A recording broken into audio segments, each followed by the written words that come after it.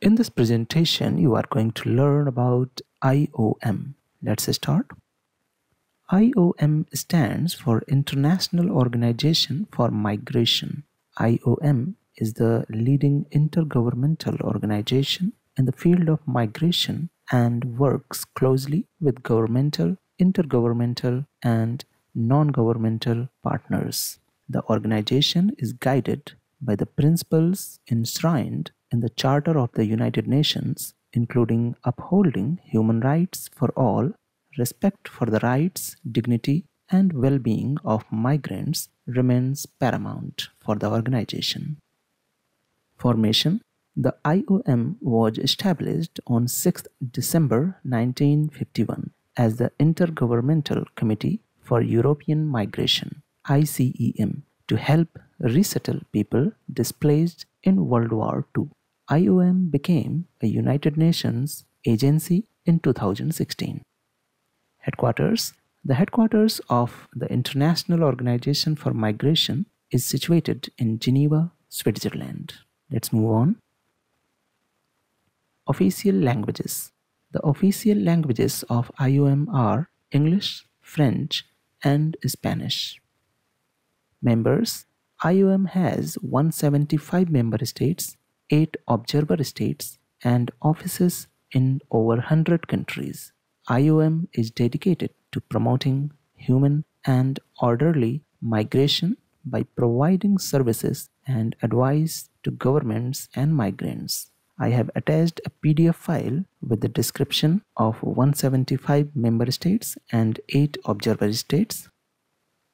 Objectives IOM works to help ensure the orderly and human management of migration to promote international cooperation on migration issues, assist in the search for practical solutions to migration problems, and provide humanitarian assistance to migrants in need, including refugees and internally displaced people. The work of IOM is guided by several core frameworks the 12 point strategy adopted by the Council of IOM in 2007 outlines the core objectives of the organization and provides an effective description of the scope of IOM's work. The 12 points of strategy are to provide secure, reliable, flexible, and cost effective services for persons who require international migration assistance.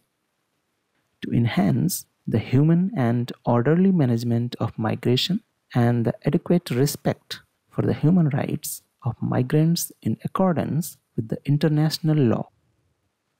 To offer expert advice, research, technical cooperation, and operational assistance to states, intergovernmental, and non governmental organizations, and other stakeholders in order to build national capacities and facilitate international, regional, and bilateral cooperation on migration matters. Fourth is to contribute to the economic and social development of states through research, dialogue, design, and implementation of migration related programs aimed at maximizing migration's benefits. Fifth point is to support states, migrants, and communities in addressing the challenges of irregular migration, including through research and analysis into root causes, sharing information, and spreading best practices and facilitating development focused solutions.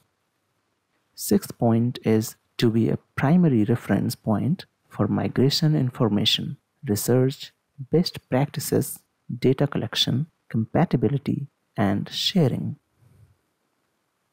Seventh point is to promote, facilitate, and support regional and global debate and dialogue on migration, including through the international dialogue on migration so as to advance understanding of the opportunities and challenges it presents and identification and development of effective policies for addressing those challenges and to identify comprehensive approaches and measures for promoting international cooperation. Eighth point is to assist states to facilitate the integration of migrants in their new environment and to engage diasporas, including as development partners.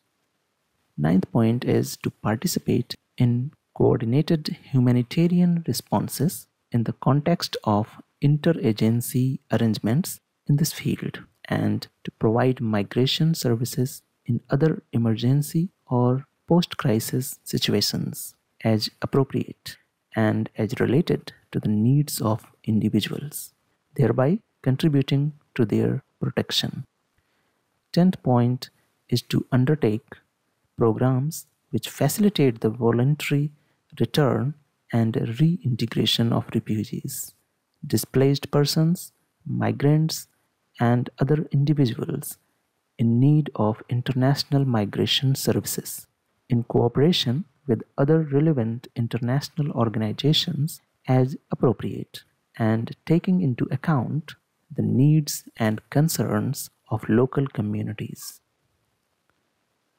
11th point is to assist states in the development and delivery of programs, studies, and technical expertise in combating migrant smuggling and trafficking in persons, in particular women and children, in a manner consistent with international law. Twelfth and last point is to support the efforts of states in the area of labor migration, in particular short term movement and other types of circular migration. That's it for now. We will come back with a different topic. Till then, keep watching Narvi Academy.